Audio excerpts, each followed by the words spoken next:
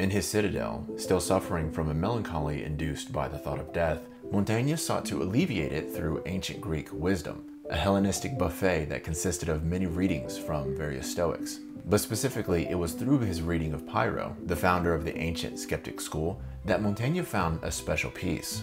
It was in understanding that certainty is futile, as our perception of anything can only be incomplete, a mere pixel of understanding that is in part in making up the full picture.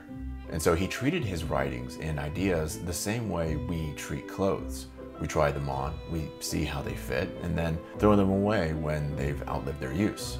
Montaigne put it this way I find myself obliged neither to take responsibility for them, my writings, ideas, nor to keep to them. I can drop them if it suits me. I can return to my doubts and insecurity, and to my overriding form of thought, ignorance.